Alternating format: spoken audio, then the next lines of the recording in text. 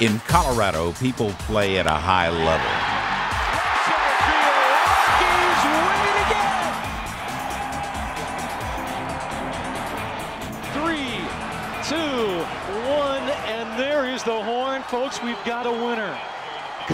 Colorado State comes into Boulder and pulls the upset. The final score, Rams 23, Buffalo 17.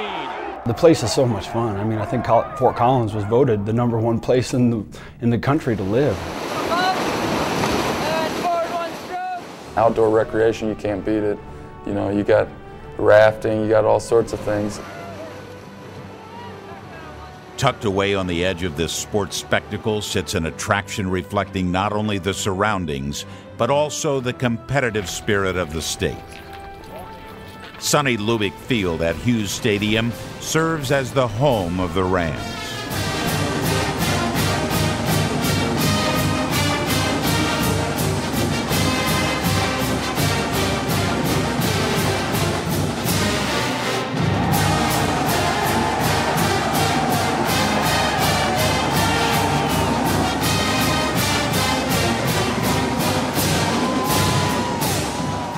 Steve Fairchild returned home to guide the Rams after a well traveled journey. Coach Fairchild played quarterback for the Rams, assisted legendary CSU coach Sonny Lubick during a period of unprecedented success. Do hereby welcome the Colorado State University Rams to the city of San Diego and wish them the best of luck. And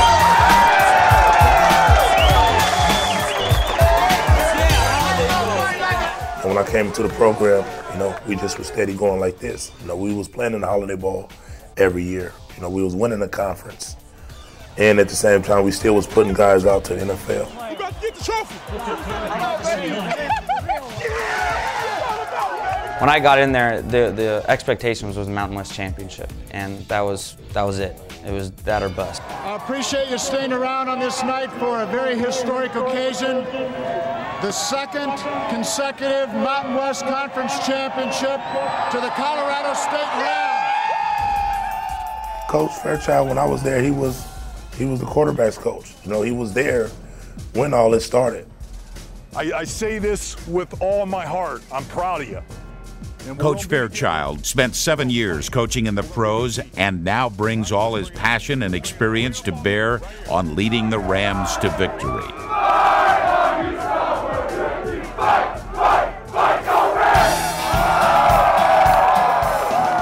The NFL honed Steve's focused approach to the game, revealed in his crisp, efficient practices and full throttle games. And a handoff, reverse, double reverse. Morton to Greer, right side, 45 to the 40, cuts back to the 35 to 30. He could take it in.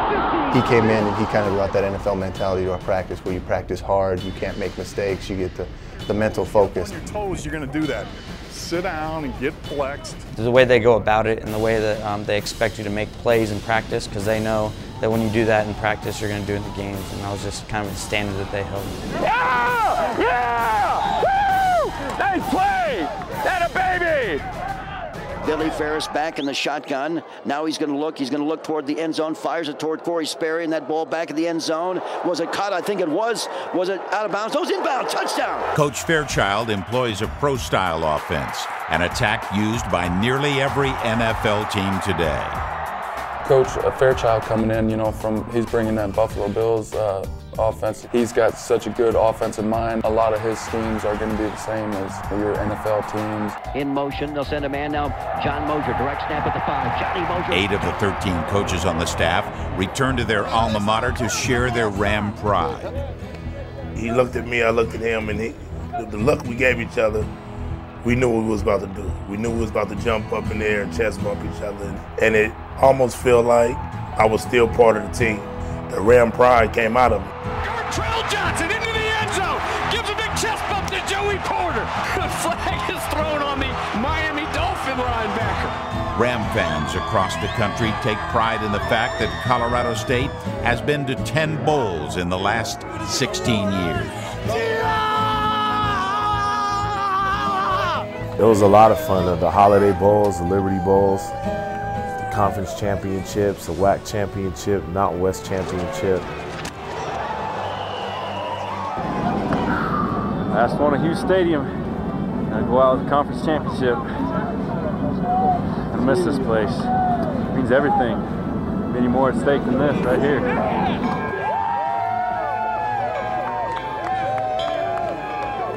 I come into a situation as, as a freshman, we go to the bowl game. They had just went 10 and 2 the year before. They beat Arizona, you know, the Desert Swarm they. And uh, they went to the Holiday Bowl and played Michigan.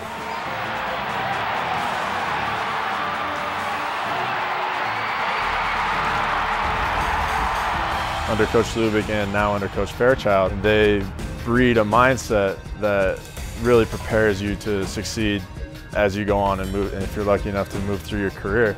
Once you have that foundation, it really makes it quite a bit easier to, to move forward and progress and, and improve. One of the commitments we're making as an institution is to strive for excellence in absolutely everything that we do. That means excellence in athletics as well. And to allow us to do that, that means that we have to make some investments, and we are. $50 million have been committed to athletic facilities in the last five years, including a new indoor practice facility, weight room, and academic center.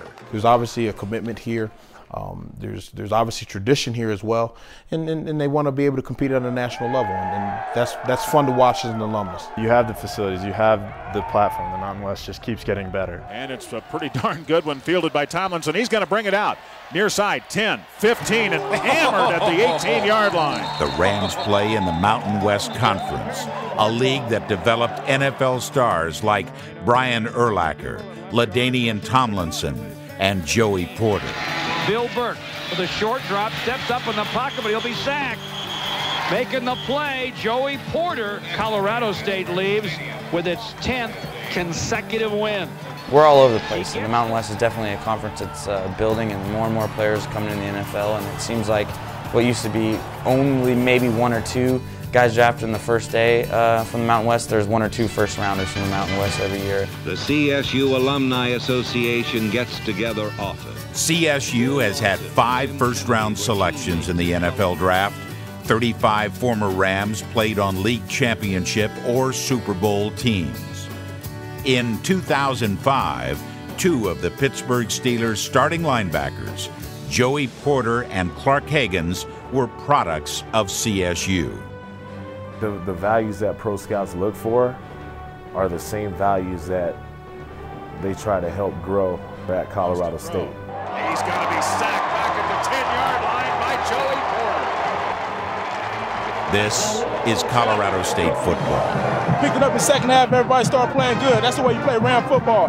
My last homecoming, had to come out here and put a show for the crowd. See State, baby. Just an interesting comment I got into at the Combine last year with the general manager and spoke of Colorado State guys, how amazing it is that they're not necessarily all high draft picks, but they always make the roster and get better and better to the point where they're all solid contributors on the teams they're selected to. Here comes the blitz. Rams pick it up in Van Pelt with a pass. Anderson steps into the end zone. Ram touchdown. Machete the snap, wants to throw. Ball is tipped up into the air, and it's picked up by Higgins. Clark Haggans fake. The throw. Touchdown to Grayson. I'd say they just kind of prepared me to do the right thing, work hard. I'd say that was the best thing that they did for me.